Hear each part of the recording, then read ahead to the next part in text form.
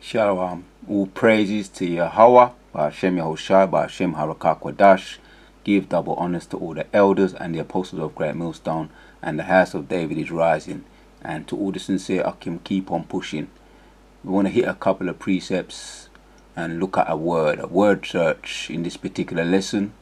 So we're going to read from 2 Peter 1 and 10. It says, Wherefore the rather, brethren, give diligence to make your calling and election sure, for if you do these things, ye shall never fail.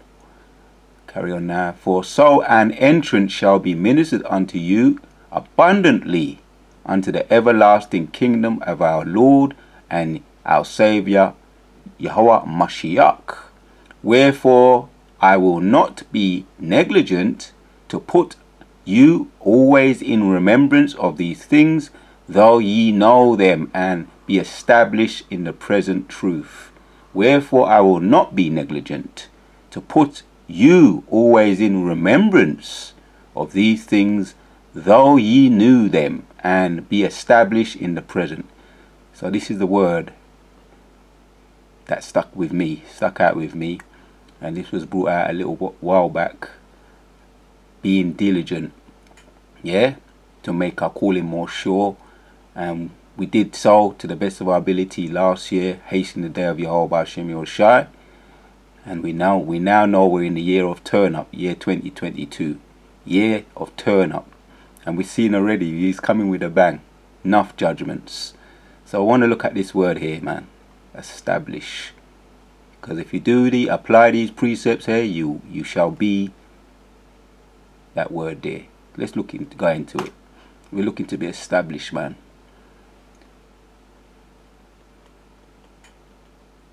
Right. Hear what he says here. Strong's G 4741 Sterizo. Sterizo.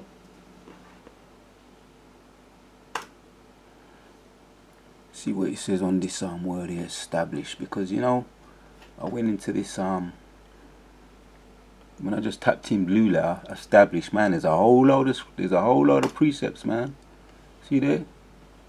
This is a prominent word throughout the scriptures. Established many, many precepts. So we're gonna hit some precepts on this word here. Just to see the foundation and build on a solid foundation. That's the vibration, that's the sentiment that comes around when you look at it, that comes about establish building on a solid foundation. Year 2022, hastening the of Yahweh Shemeshai. Yeah, and I've, the statistic on the judgments of last year, all the judgments that um, occurred, you know, within our own people, the two thirds, the celebrities that sold their soul to the devil, and and no one can't say this ain't prophecy, because prophecies are being fulfilled over 200 people, over 200 celebrities were judged last year. So if this is the year of turn up, it's not looking good. It's not looking good for the wicked. Get right. Repent. The kingdom is nigh, man. Over 200 celebrities were judged in the year 2021. So that's a sadistic statistic. And there's a, a, a understanding on how the Most High is turning up and he's already turned up. You know, as as we've seen, this year came in with a bang, man. So establish. Point is already made, but I'm going to look in the word. the point is already made, even so early in the video. The point is already made. It says to make stable, place firm, set fast, fix, to strengthen, to make firm, to render constant confirm one's mind, establish. From the derivative set fast to turn, right, in a certain direction, figuratively confirm, establish, steadfastly set, strengthen. There you go. Steadfastly set, strengthen. I want to see what Google has to say. And we're going to come back to the blue letter.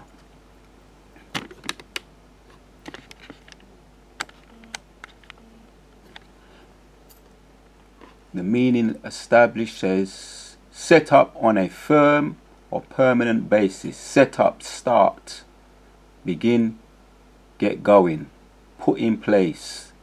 Right. Put in place. Yeah, man. Most High's putting his kingdom in, in his place.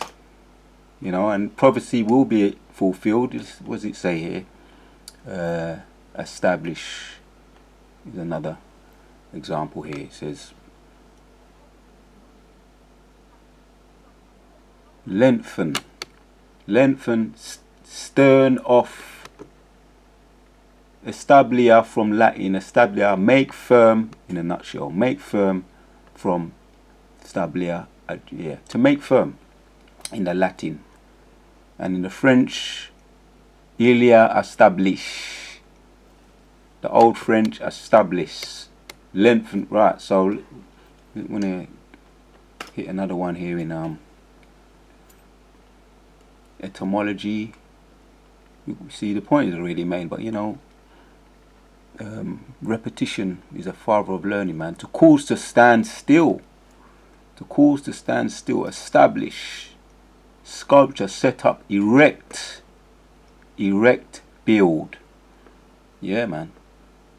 Most are going to erect and make his kingdom stand firmly, as as we see here so our kingdom, as it says in Daniel 2 and 44, is going to set up a kingdom that will stand to everlasting, will stand forever. And it will um, put an end to all these weak, unstable kingdoms that haven't been established. But our kingdom will be established forever, man. So yeah, man. Let's hit let's hit another precept. These are precepts. When you look, when you go into it, man, there's a lot there. Just gonna hit one and two. I'm, I'm really happy that this the point has already been made but we like to read some bring out some precepts man because they really hit the ball out of the park. This is one in um Proverbs 12 and 19 says the lip of truth shall be established forever but a lying tongue is to be for a moment. Yeah. A lying tongue is only for a moment man yeah, the truth, the truth always wins, because a lie is just a, a breath that here today and gone tomorrow. A lie is here today and gone tomorrow. Short-lived. It's just a little. If you put it into the context of, you got the marathon run, you got the sprint, you got the 200 meter, 400 meter, 800 meter. A lie would be a, a one, a 100 meter sprint. Very quick here today, gone tomorrow. But a truth would be established. He says that the lip of truth shall be established forever. So it, you would class that as a marathon. Long thing. Long and drawn out. And it puts down roots. Puts down roots and it grows up into a firm tree as it talks about the trees in Isaiah. Isaiah 65. Has a long life. Trees represent long life, eternal life. So that's if you put if you're dealing with the tree of life, if you're dealing with the truth, your truth, the truth shall be established forever, man. Enough said on that one. Let's bring out another precept. Psalms. Yeah. Psalms 80, Psalm 78.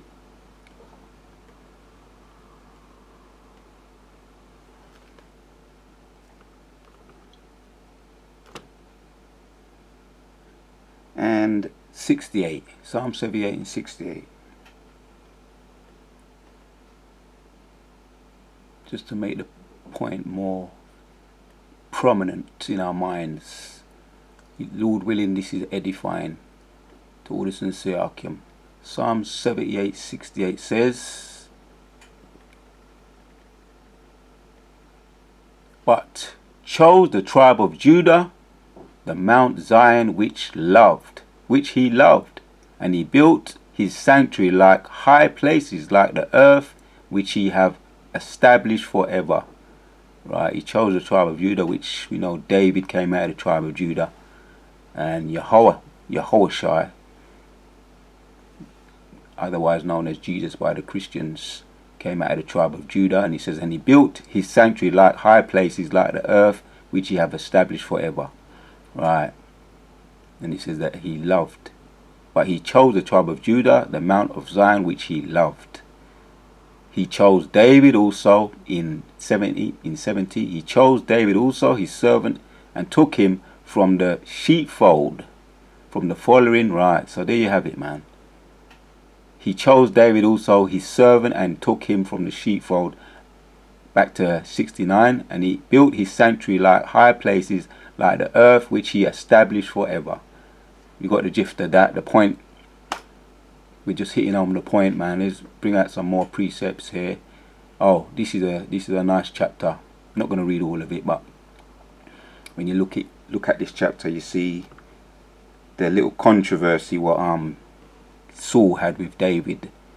Saul was jealous of David because he became king and Saul was rejected. And it makes a point in, you know, that um, David was pursued in the mountains, up in the caves. And he was pursuing, Saul was pursuing him, you know. He became a fugitive. David had to be, be a fugitive and hide from Saul because King Saul was became demented you know, strong delusions took over him. He lost the spirit and he pursued David to try to kill David. A righteous man, David. So let's see one and two verses here. See if we can get the context a bit here. In 12 it says, The Lord judged between me. Right, this is after uh, David cut the skirt of Saul off just to prove to him that he could have killed him, but he, he said, "Nah, he didn't want to do that." Let's look, let's look at ten. It says, "Behold, this day Thine eyes have seen how that the Lord had delivered thee today in mine hand, and hand in the cave, and some obeyed me, killed thee. But mine eyes spared thee, and I said, I will not put forth mine hand against my Lord, for he is the Lord's anointed. Moreover, my father, see ye my, my father, see ye, see the skirt of thy robe in mine hand, for in that I cut off the skirt of the robe and kill thee not. Know thou and see that there is neither evil nor transgression in mine hand, and I have not sinned against thee, yet thou huntest my soul to take it. Right, you see there? He took, he cut the skirt off uh, King Saul just to prove to him that he could have killed him, but he didn't. He had mercy. And this is what he says in 12. It says, The Lord judge between me and thee, and the Lord avenge me of thee. But mine hand shall not be upon thee.